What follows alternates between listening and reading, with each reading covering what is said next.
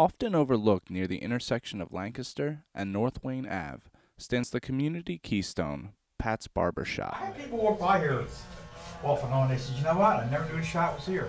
Yeah. I always had something in my mind or a place to go. I turned to my right and there you were. And he says, now, we're, now you're my barber. Pat has seen the effects of the economy throughout Wayne, including the many stores that have come and gone. retail, yeah. It's pretty tough for retail to hang around anymore with the big box stores and shopping centers and all. The jewelry store's been there forever. That's the jewelry store's been there forever. Everything else is new. Oh, shoe pa- shoe, uh, shoe shop. Shoemaker across the street there? Been there forever.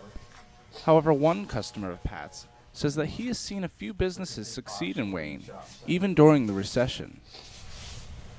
I think the biggest turnover in this, in this street here are restaurants. Yeah. We got a lot of shops across the street. There's a jewelry store across the street that's been here as long as I've been around. Mm-hmm. And, uh, there's been some specialty shops, but Wayne stays pretty much the same.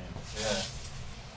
While retailers have come and gone, Pat says at his shop, business is still running smoothly. It's just service industry. I think service industries are doing better than retail. Yeah. Yeah, by how much more, I don't know. There you go, guys. Okay? Thank you much. Yes, sir. Until next time, reporting for the Loquitur, I'm Andy Stettler.